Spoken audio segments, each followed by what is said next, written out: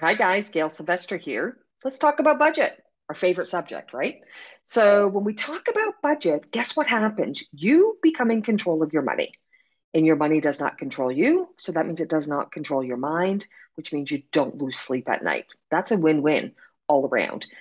There's nothing more empowering than knowing exactly what you have in your bank account at the end of the week before the next pay period then actually putting it into a budget form and knowing exactly what you can do. Biggest tip that I can always recommend have two bank accounts. I want you to have one bank account for all of your home fixed expenses, mortgage payment, property tax payment, house insurance, utilities. So we've got your hydro, we've got your gas, We've got internet and we've got hot water tank rental. Like these are the fixed expenses that we have every month. These don't change. Now, utilities, they go up and down, right? So based on consumption. So I really, really hope that you're on the monthly budget, which is a pre-authorized debit um, form of payment. So that way they're taking it out the same amount every month. That way there's no there's no surprises, right? So if we do that, then what I'm going to have you do is take all those monthly expenses, add them all up. Kind of then you can do, you can multiply it by 12. So that way you know exactly what your annual expenses are. These are the fixed expenses, right? The, these ones don't change. Then what I'm going to have you do is divide by 26. And that is especially if you get paid every two weeks. So that is showing you that based on your monthly fixed expenses, how much it's costing you every pay period. How much do you need to put every pay into that house account? So I want you to get out a piece of paper. I want you to go to your online banking and I want you to write all that down. Then I want you to multiply it by 12 and divide it by 26 because that's if you're on a biweekly uh, pay schedule. If you're on a weekly, divide it by 52. Either which way, I need you need to be in the know as to what are your fixed monthly expenses. Then what I want to have you do, so let's go round it up and I'll say it's 1200 bucks every two weeks. Every payday, so if your pay is 1500 every payday, because we're just using it, say, just on your income and we're not taking into account uh, a secondary income that's in the house, then what I want you to do is every pay, take $1,200 and transfer that into that house account. And then you're left with $300 for two weeks and then hopefully we've got another uh, like another income in the house because at $300 every two weeks that should allot for gas that's groceries and that's entertainment. So that's that's living right? So that's what we're looking to do. If that is tight we're going to do some budget cuts right?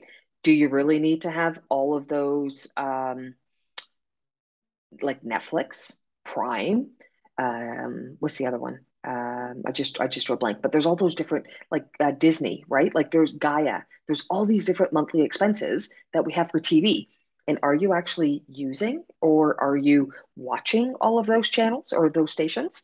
I think probably not. So it might have you're like it's only 10 bucks. But when you add up 10 bucks for Netflix, 10 bucks for Crave, 10 bucks for Prime, 10 bucks for um uh Disney, like that's 40 bucks plus tax. Like we're up to 46 bucks a month. So that little 10 bucks adds up. So what I want you to do is maybe cut back. Just have one.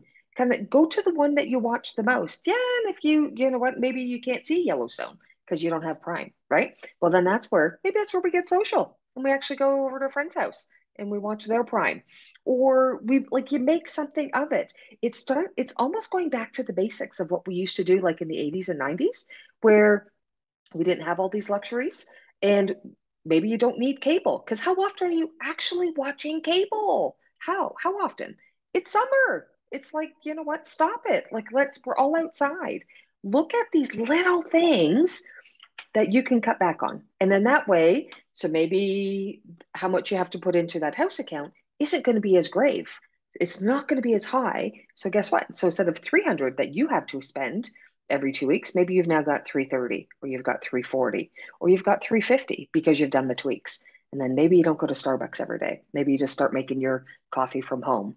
These are the little things that you have to look at to put money back in your pocket, right? So don't just like five bucks here, 10 bucks here, 20 bucks there. It actually, it really does add up. So print out, print out your, your monthly bank statements kind of thing. Just go online, print out the last 90 days highlight, get colored different highlighters, and actually write down to see where is your money going.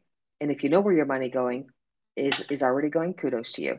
So, and hopefully you're in control of that too. So the biggest thing I can say is the environment that we're in. Let's take control. Let's take the power back, and let's not tap here pre-authorize this, pre-authorize that. And maybe it's not coming from your bank account. Maybe it's coming from that credit card or that credit card or that credit card. So you're not seeing as dramatically.